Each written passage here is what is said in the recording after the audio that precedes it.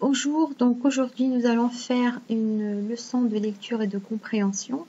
Euh, la première vidéo, j'ai dû la refaire parce qu'il y avait un problème de son. Donc euh, le texte, c'est la, la, fille de Terre 2. Et donc euh, il est tiré du manuel L'île au mot, page, page 120. D'accord? Bien. Donc on relève les éléments du paratexte, on les a déjà relevés euh, oralement, vous avez pris la page 120, vous avez relevé le, paratexte. Donc, je rappelle, le paratexte, c'est tous les éléments qui, ne font pas partie du texte. Donc, vous avez relevé les, vous avez relevé les illustrations, d'accord? Donc, il y avait quoi? Il y a quoi sur les illustrations? Il y a sur la page 120, cette page là où je suis, il y a deux filles. Donc, euh, c'est là, c'est une combinaison. Euh, ça a l'air d'être un tissu. Donc euh, on a l'impression qu'elle va la porter. Donc c'est une combinaison. En lisant le texte, de toute façon, vous allez savoir que c'est une combinaison, hein, même si elle n'est pas si claire. Bien, donc euh, il y a deux filles, il y a une combinaison. Et sur la page 100, 121, il y a une, euh, il y a une cascade.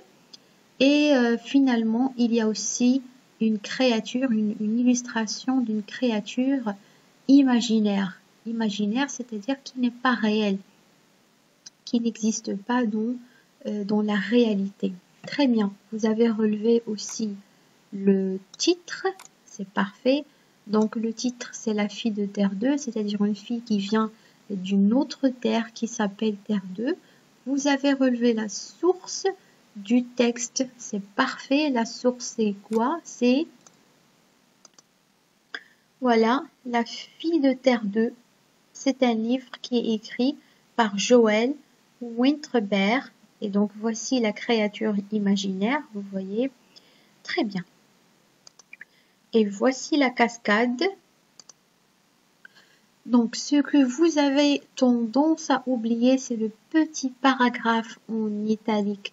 Est-ce qu'il fait partie du paratexte Ben oui, il fait partie du paratexte parce que il n'est pas écrit par l'auteur, mais euh, donc, euh, il a été écrit juste dans le manuel.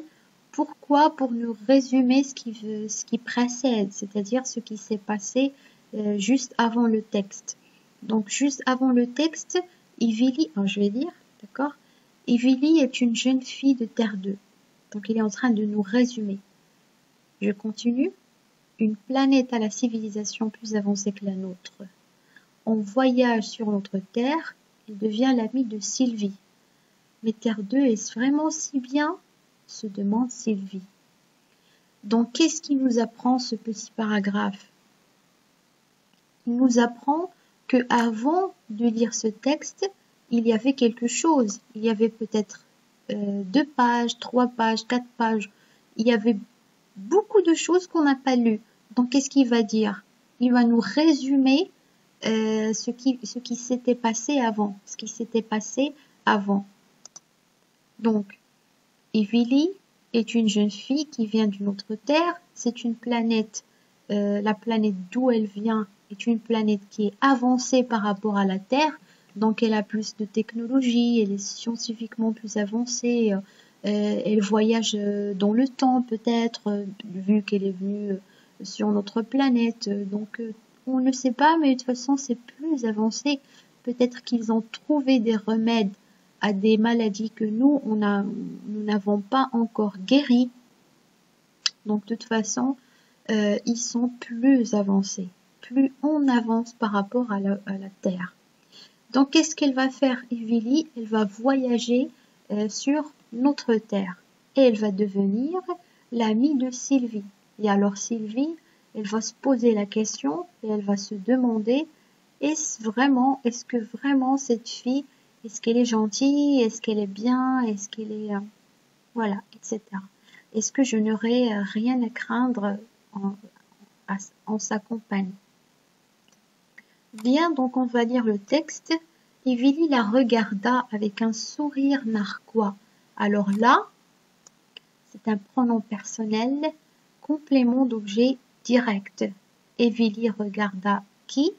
Elle regarda Sylvie. Donc Évilie regarda Sylvie.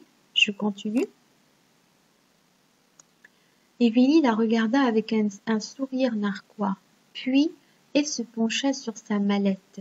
Elle en sortit la petite sphère hérissée et une trousse où se trouvait compressée une étrange étoffe.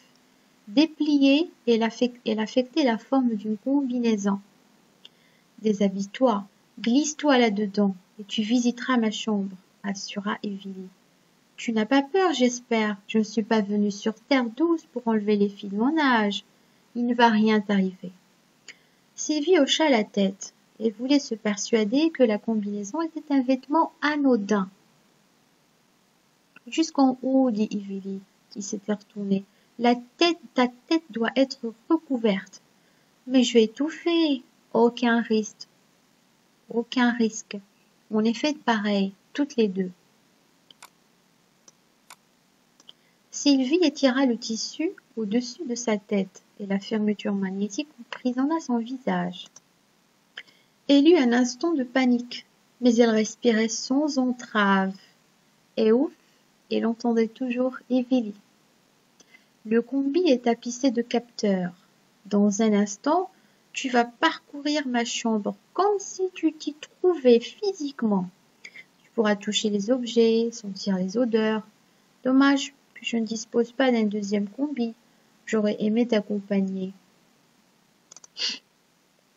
Et d'un seul coup, Sylvie fut ailleurs et ne put retenir un cri d'admiration. Elle avait l'impression de contempler la huitième merveille du monde et se trouvait dans une grande pièce à niveau multiple, où s'ouvraient plusieurs alvéoles. Le soleil entrait à flot par d'immenses baies vitrées en arcade. L'une d'elles était ouverte, on entendait des oiseaux chanter. Alors ça te plaît? dit une voix qui semblait euh, surgir du néant. Sylvie sursauta, puis se rappela qu'elle n'était pas sur Terre 2 mais toujours dans sa chambre en compagnie d'Ivili. Attends, s'écria-t-elle, surexcitée. Je commence juste d'explorer. Elle monta deux marches, pénétra dans un alvéole où se trouvait une console qui ressemblait à un terminal, à un terminal d'ordinateur, et que couronnait un vaste écran de forme concave. Elle effleura l'écran et le vit avec surprise s'éclairer tandis qu'une voix chaleureuse disait Prête pour ta nouvelle leçon, Évilie Mystifiée, secouant la tête, Sylvie s'écarta. Un peu plus loin, en contrebas cette fois, un autre alvéole donnait, donnait accès au coin toilette. Dans une casque coquillage, dans une vasque coquillage, de l'eau se mit à cascader et Sylvie sentit monter une vapeur au parfum de vanille. Elle avança ses mains sous la cascade. L'eau lui parut si délicieusement tiède et souple qu'elle dut se sentir, se retenir pour ne pas sauter dans la vasque. Derrière celle-ci s'ouvrait une cabine hexagonale où elle cherchait en vain une pomme de douche. C'est quoi ce truc? s'étonna-t-elle. Ce n'est pas une cabine de douche C'en est une, dit la voix désincarnée d'Ivili. À ultrasons. Cela décrasse plus vite et mieux. Sur Terre 2, on ne se baigne que pour le plaisir. Sylvie hocha la tête et poursuivit son exploration. Ici, ce devait être le coin loisir. Il abritait des jeux inconnus et une collection impressionnante de livres et de cassettes. Un fauteuil, un fauteuil relax invitait à la lecture. Sylvie saisit l'un des volumes. Les illustrations ne correspondaient à rien de ce qu'elle connaissait. Elle semblait sortir de la page et montrer des lieux ou des animaux inconnus. En s'approchant de l'alvéole, dévolue au sommeil, Sylvie fit oxyer un lit qui flottait tel un bateau dans un bassin empli d'une substance argentée, argentée analogue au mercure. Elle fit un bond en arrière quand une créature en jaillit. N'aie pas peur, dit la voix d'Evely. Si j'en jure pas ta réaction, tu viens de rencontrer Pistache, ma chimère. Elle ne ferait pas de mal à une mouche, caresse-la. Tu vas voir comme elle est douce. Pistache s'étirait sur le sol avec une grâce féline. Sur son pelage vert immonde, des arabesques plus sombres dessinaient des figures étonnantes. L'animal déployait des ailes irisées et darda sur Sylvie le regard de ses yeux à facettes brillantes, comme des pierres précieuses. Sylvie frissonna, et n'arrivait pas à se persuader que la bête était virtuelle. Elle, elle peut voler se demanda-t-elle d'une voix chevrotante, sûre que Pistache allait se jeter sur elle d'un instant à l'autre. Non, son corps n'a pas été conçu pour le vol. Ses ailes sont un élément purement décoratif. Conçu? Tu veux dire qu'elle a été fabriquée? Oui, Pistache est une chimère, il y en a de toutes sortes. Elles sont créées par manipulation génétique. Nos savants sont capables de croiser plusieurs animaux entre eux et de jouer sur toute la gamme de leur caractère. De cette façon, on peut réaliser une infinité de chimères. Chacune est unique. Elles s'attachent à l'enfant qui les a adoptées et comme leur longévité est très grande, elles peuvent l'accompagner toute la vie. Donc j'ai lu le texte pour vous. Qu'est-ce que vous allez faire? Vous allez le réécouter et le réécouter. Vous faites très attention à la prononciation, à la façon avec laquelle j'ai lu, d'accord?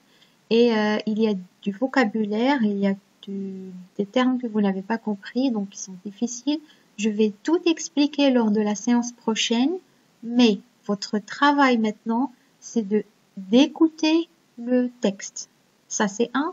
Deuxièmement, vous allez chercher la définition d'un vocabulaire, d'accord? Donc, vous, vous écrivez sur votre cahier de devoir panique, le mot panique, alvéole, surgir du néant, des crasses, jaillir, chimère, longévité. Je répète.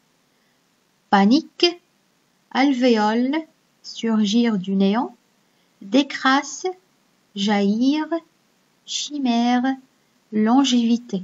Alors vous cherchez juste ces, ces mots et après dans la deuxième leçon, on va, je vais vous expliquer tout le texte. Merci.